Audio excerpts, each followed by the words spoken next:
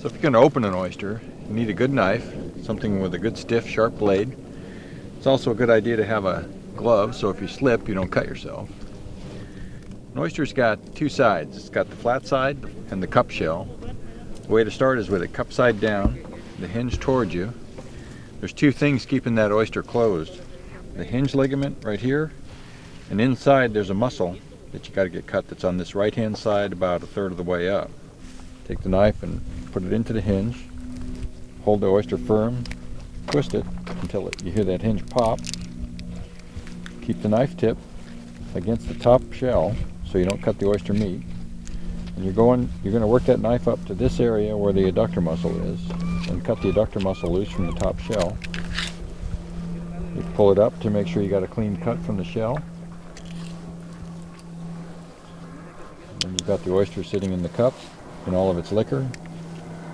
Then you cut it loose from the bottom shell. And make sure it's loose to slide off the shell, ready to go.